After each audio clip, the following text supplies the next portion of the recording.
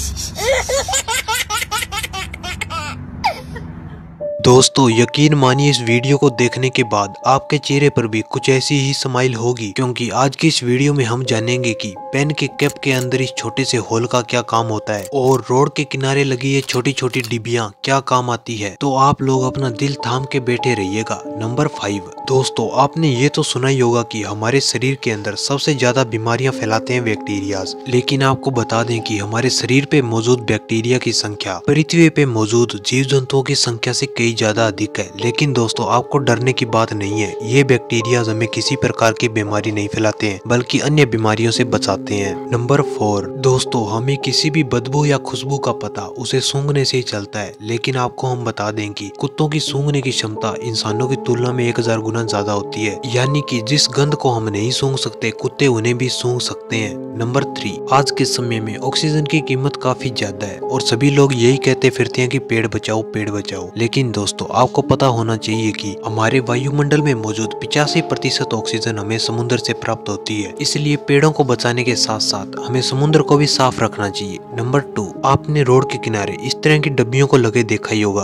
तो इन्हें road stud कहा जाता है और ये इसलिए लगाई जाती है ताकि रात को ड्राइव करते वक्त आपको किसी भी परेशानी का सामना न करना पड़े, आपको रोड एकदम क्लियर दिखे। और इनकी कीमत एक हज़ार से पंद्रह सौ रूपए पर स्टड होती है number one fact number one से पहले, अगर आप हमारे चैनल पर पहली बार आए हैं तो इस वीडियो को लाइक और हमारे चैनल को सब्सक्राइब ज़रूर कर ले। दोस्तों, आपने पेन के कैप के अंदर इस तरह का होल तो देखा होगा। आखिरकार ये होल इसलिए बनाया जाता है ताकि पेन के अंदर हवा के दबाव को कंट्रोल किया जा सके और उसकी साई को सूखने से रोका जा सके। इसके अलावा ये छेद हवा के दबाव के बिना ही पेन को आसानी से बंद करने के लिए काम भी आता है। ऐसी और इन्फॉर्मेटिव वीडियोस के लिए हमारे चैनल को सब्सक्राइब ज़रूर करना। Thanks for watching